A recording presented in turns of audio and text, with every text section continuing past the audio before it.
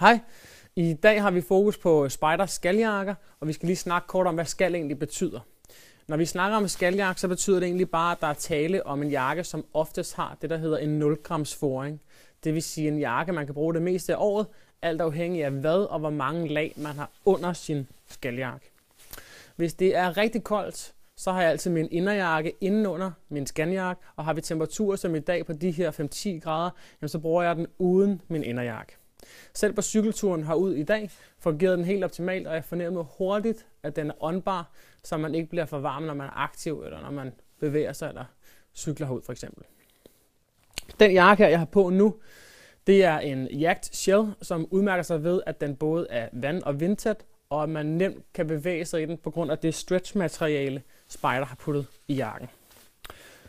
Øhm, Udover det, så har den et fantastisk ventilationssystem, som gør, at man nemt kan ånde i, øh, igennem jakken, så man ikke kommer til at svede øh, for meget, når man er aktiv. Vandtætte lynlåse er et kæmpe plus, da jeg bruger den i al slags vejr, så ens ting ikke bliver våde. Så alt i alt en rigtig funktionel jakke, som kan bruges det meste af året, uanset om man er på ski, eller om man bare, ældre, øh, hvad hedder det, eller om man bare elsker outdoor-livet.